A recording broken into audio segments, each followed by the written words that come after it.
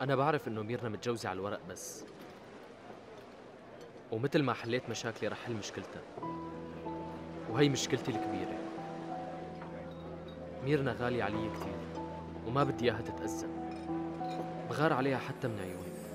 ما عملنا شيء حتى تخجل منه ميرنا ولا حتى العيلة. نحن حبينا بعضنا وبتمنى تبارك لنا. ميرنا متزوجة. حاجة تحكي وتخبص. عيب مو وقتها. قلت لكم أنا يلي رح حل هالمشكلة. كيف حتحلها؟ رح تدفع لمصطفى مصرياته؟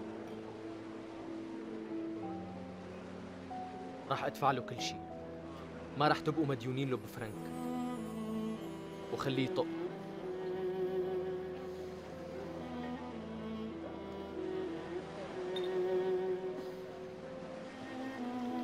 طيب موافق.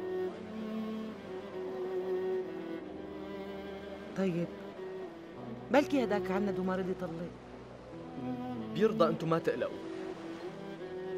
أنا رح خلي ناس يفاوضوه ورح وكل لكل محامي الشركة. الظاهر إنك من عائلة ميسورة. لحتى عم تحكي بهالثقة. أهلي ماتوا. أمي فقدتها من خمس سنين. وبابا مات وقت كنت صغير. بس نحن تعرفنا على أبوك. لا آه هاد جوز أمي.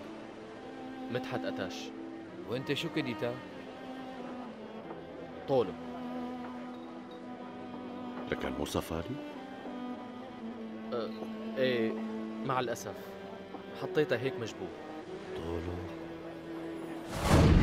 بدنا ننقل هي الجثة من هذا القبر لقبر تاني. بسم الله الرحمن الرحيم.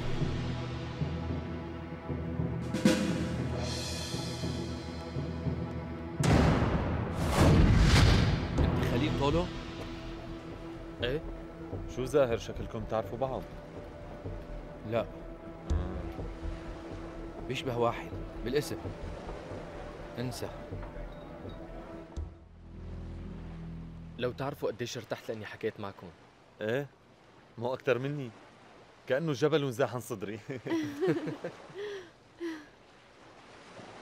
ابني شو أنت؟ ما عندك شغل؟ عندي. قالوا لي إنه في عندك برج. إيه لنقول شركة كبيرة. خلينا نروح نظبط البيت قبل ما تعتم الدنيا. بتعرفي أمي أنا كثير انبسطت بهالقرار. ما عنا خيارات. المجلس هيك قرر. أوه شو هالعيلة الديمقراطية؟ يخزي العين. إذا بتحب منروح على الشركة ومنشرب قهوة. كترة المحبة بتولد العداوة. بكفي اليوم. اليوم مشغولين بس بعدين رح نجي نشرب قهوتك. ما هيك حسن؟ طبعا أكيد رح نجي.